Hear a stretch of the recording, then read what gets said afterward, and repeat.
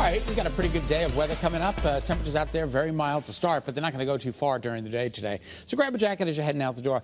We are talking about an alert for Friday, Thursday night into Friday, with periods of heavy rain. It's going to be another rain event, but it's going to impact a couple of commutes. So therefore, we've gone ahead and issued an early warning weather alert for this time period.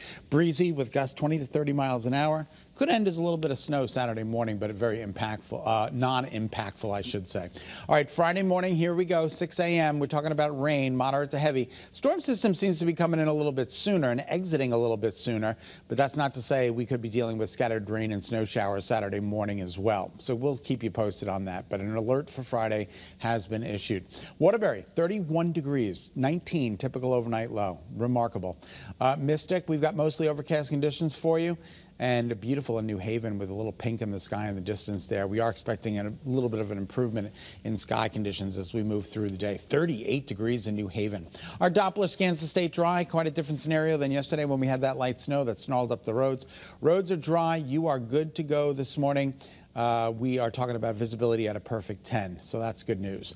Temperatures, remember 19 in the temperature column, that's the number you should be seeing. We're at 32, 34, 36 in Willington, 37 in Berlin this morning. And here are some more numbers for you 38 at Bradley, Brainerd, Willimantic, New Haven, 39 in Groton. Remember, our normal high is 35 for this time of year and it's 7.04 in the morning. Remarkable.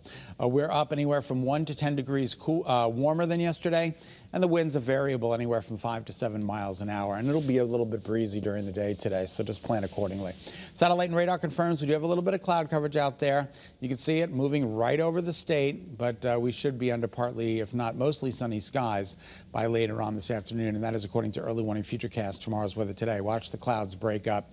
Then they're back this evening through tonight and then they're gone again tomorrow under partly sunny skies again tomorrow. So that's some good news. The nation bodes fairly well, I mean, with the exception of California that just keeps getting pummeled. They've got another rotten storm in that uh, state, so keep a good thought for those folks. But for us, it's fairly quiet up until Thursday night and Friday. Your temperatures don't go too far today 40, 41 for inland Connecticut, 41, 42 for the shoreline under partly sunny skies. So uh, looks like a pretty good day of weather, another tranquil day of weather. The sun is up at 718, sunsets at 439. Temperatures out there in the upper 30s and low 40s. Now tonight it does get cooler. It's going to be cold tonight with numbers dropping into the upper teens and low 20s. It is going to be a colder morning tomorrow than this morning, that's for sure.